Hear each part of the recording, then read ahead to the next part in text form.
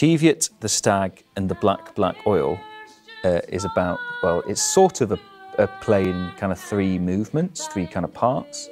So you've got the Cheviot, which is mostly about the Highland clearances, uh, looking particularly at the Sutherland area, but out into the islands, into Skye and the Outer Hebrides as well.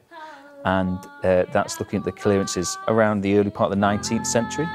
None your people complaining eh? How's your father? Dead, sir. Marvellous. No complaints. Then it moves into the stag, so into kind of the, how the land's been used for hunting and shooting parties, or shooting parties mainly. And that's that kind of takes you from, I guess, the late Victorian era up, up to the present day, really.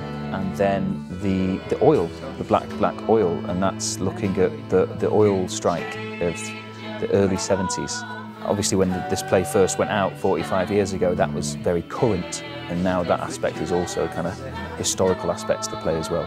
In the 21st century, looking at school kids going on strike and climate change becoming a, an actual problem and a kind of understanding of the consciousness, a, a play like this kind of, yeah, needs to, in, in, a, in a very gentle way, sort of begin to kind of sort of open that question as well. Because we, we need to change the way we're living. The people who spoke Gaelic no longer owned their land. The people had to learn the language of their new master. When we went to the war, the living was not easy, but you see us that day. We just cheered us to glory and to see us that